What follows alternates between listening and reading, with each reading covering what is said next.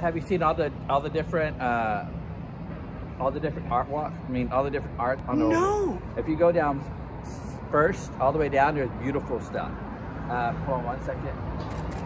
Um, And so you're going and documenting all the. I've been documenting the homeless for the last 20 years on my own, and um, I'm still doing it. I I pass a friend of mine. and I pass out food on Sundays around 2:30. We do about three to 400 people.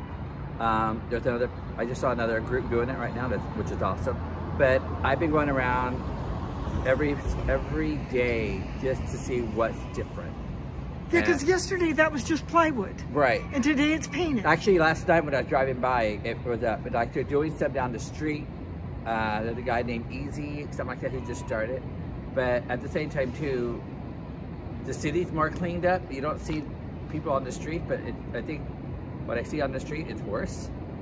You know, there all the shelters have closed, basically half and half, and there's no food. So I'm just documenting, trying to figure out, you know, what isolation really is. And and what can, can we have your name? My name's Aurelio. And and what kind of uh, internet can we find this documentary? I just do it for myself. You know, I write little stories. Um, I, uh, yeah, I, I just, I think that there's too many people telling the story, but nobody really listening. Yeah. So I, I, I'm a hairstylist, so I share it with my, my people who sit in my chair. I share it with my stories with them, and 90% of them are involved in what I do, and so, yeah. Nice. Yeah. Well, we're the public interest issue show on Seattle Community Media. Uh-huh. So we're a TV show. Okay. So sometime would you call us up and let us be involved with Oh, yeah, filming? absolutely. You doing good works? I, you know, um, there are a lot of amazing people out there. You know, And you're amazing too, because you noticed that. Yeah, but I I, mean, I you're noticing. everything. I'm just one of those people who pays attention, you know. And, Nice. You know, and, and this whole this whole epidemic, I, I think that at the same time too, I hope that people actually take to account that we're all homeless, no matter no matter how big our house are, you know, and we all required helping hand without anybody having to pat us on the back for doing it.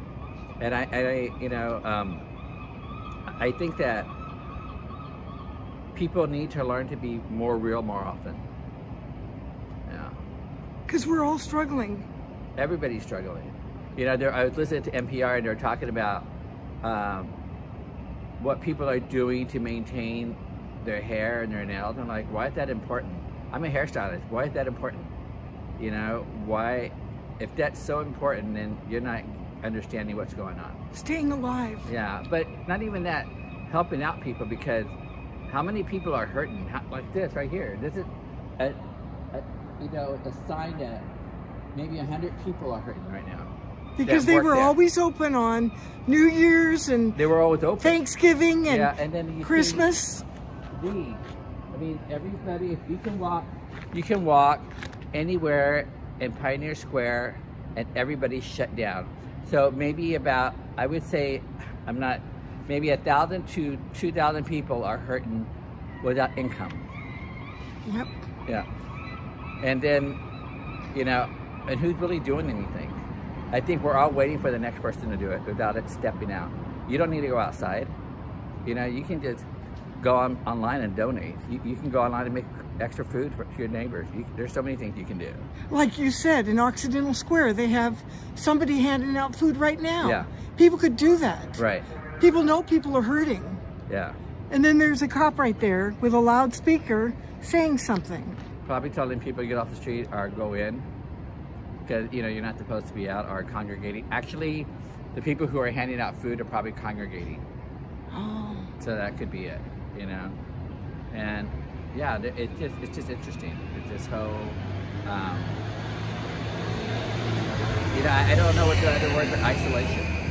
You know, I- I This is isolation right here. Yeah. This is the word for it. yeah, and Yeah. and it, yeah, but, it, but again, I hope people understand what's going on. It's not even, you know, this whole um, making a, a payroll for yourself or putting money in the bank. I think it's great, But if it's just there doing nothing, when we have the biggest homeless area in the country, and then you can't even walk into a grocery store without somebody asking you, you know, I'm guilty of just wanting to walk away from it. You know, I'm totally guilty about it. You know, but at the same time too, I, I have to do something. You know, you just have to. You know, because you don't know when it's your turn.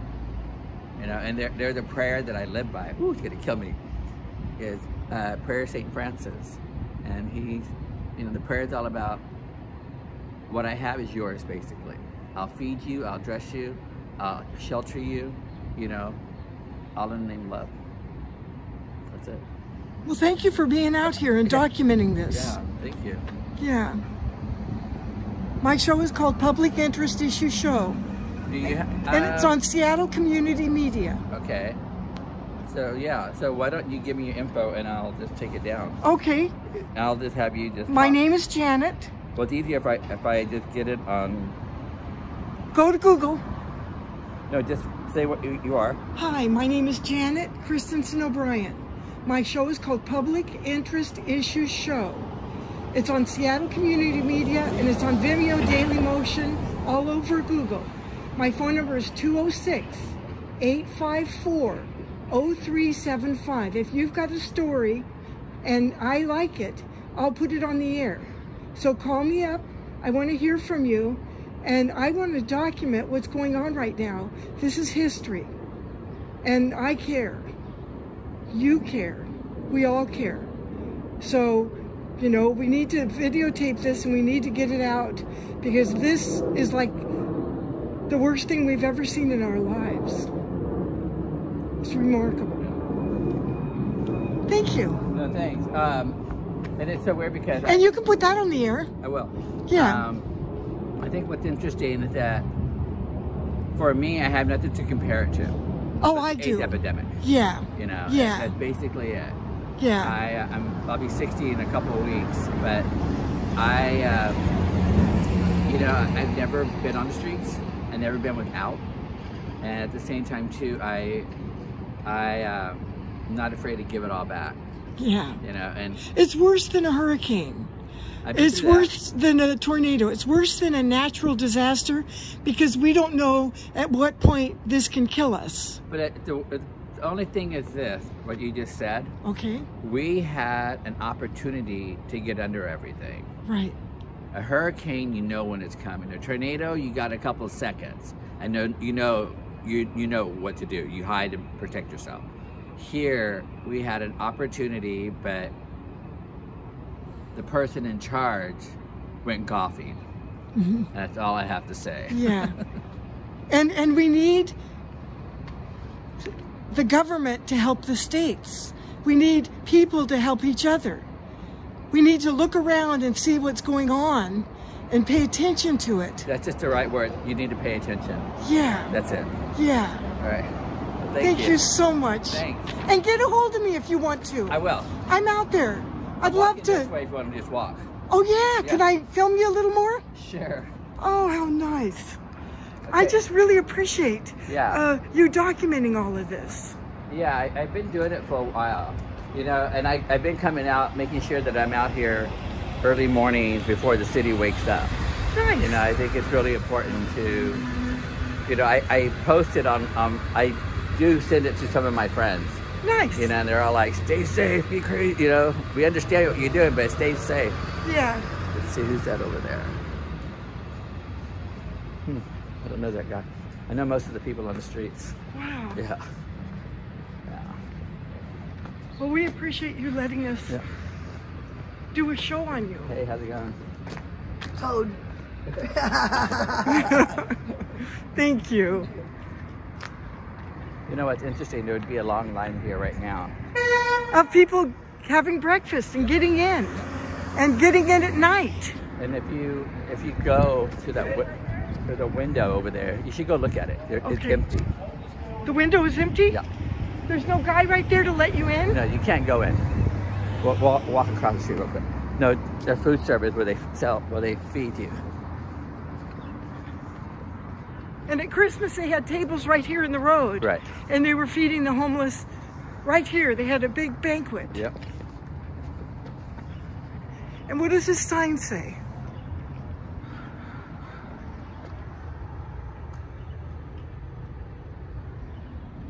So it is still open. Oh, it's still open. So what they did, they they uh, limit the people who are coming in now. And you normally would see this busy.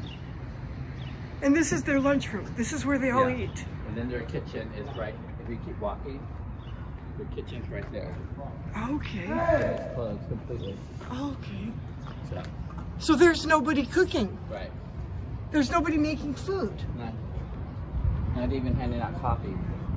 And at this time of the day, they'd always be handing out something. They would.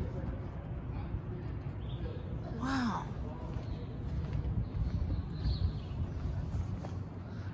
I just think everything is important.